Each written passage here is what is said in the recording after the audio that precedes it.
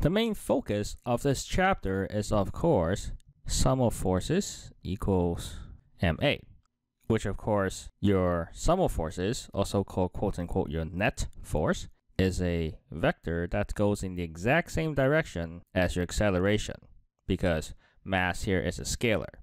So in order to find out this vector, which is your net force, we can do vector addition using unit vector notation, just like all other vectors.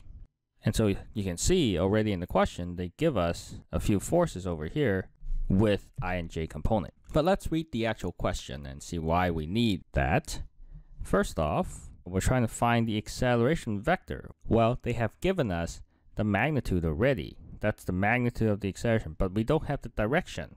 The direction is going to come from the direction of the net force because they're in the same direction. Let's just quickly sketch a free body diagram of this particular object. We got x and y. So f1, we go 3 in the negative x direction, 1, 2, 3, and 2 in the positive y direction, so there's f1 with the vector sign.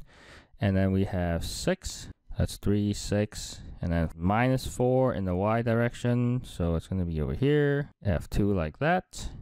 And then we have f3, which is 2i, 5j. And of course, roughly speaking, what we're trying to find is we're trying to find the net force, which is the sum of the forces.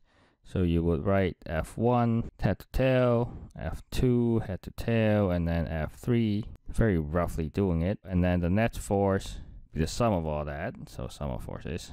And from that we can find our acceleration vector, which is going to be in the same direction as my F vector. They're supposed to be in a straight line.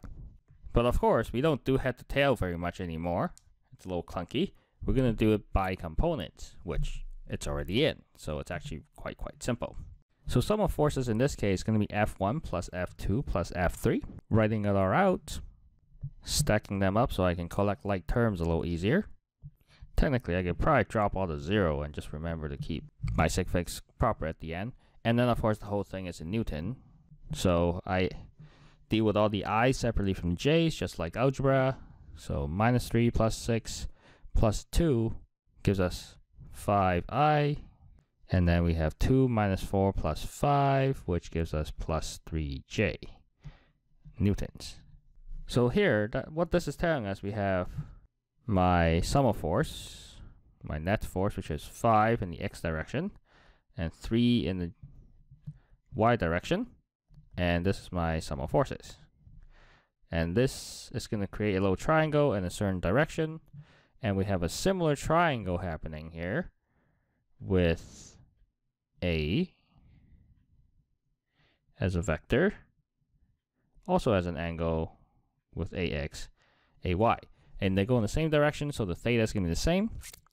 Therefore, we can find out theta through the force triangle in order to break down the acceleration into its x and y components. So we know that theta can be obtained using arctan of, in this case, they're both positive. So we got 3 over 5.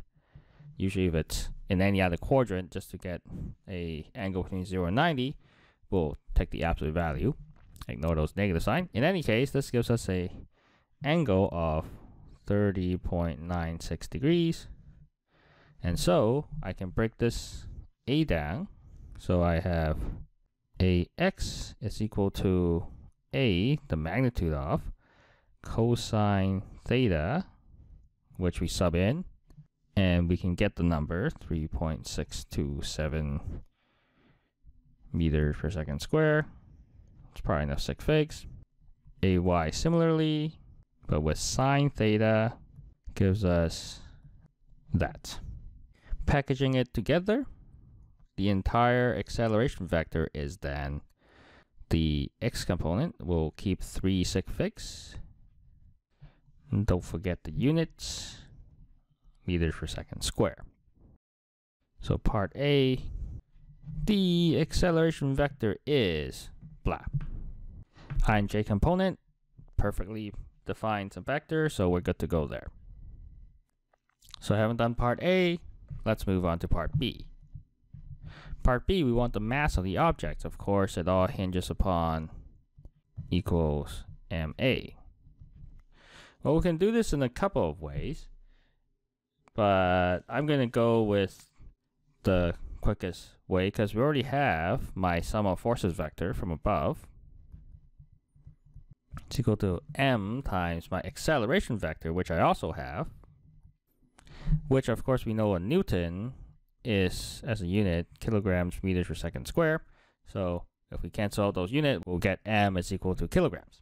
This, of course, we can do i separate from the j's, and in both cases, it should give us the same answer because they are in the same direction. Looking at the i component, technically you only have to do one of the component because m will be the same in both ways.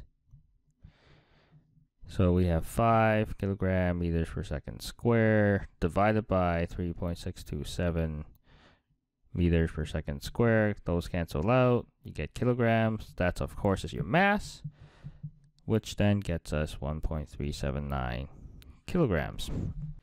You can double check with your J component, and indeed, it gets us the exact same answer. So then for part B, the mass is 1.38 kilograms. So then part C, they're asking us specifically for the speed. So we're talking about speed here, not velocity, but speed. Given that we already have the magnitude of the acceleration, well, that makes it a lot easier because we know that change in speed is equal to the magnitude of the acceleration multiplied by delta t. Delta speed, of course, is your speed final minus speed original, but we already tell that the speed is zero to begin with, so it's just really the final speed. Then we just sub in the magnitude and 5 seconds, we'll get our answer. Done. Very quick. And then for part D, we want the components of the velocity vector. Well, since we just want velocity, we can use the acceleration as a vector and then just multiply through.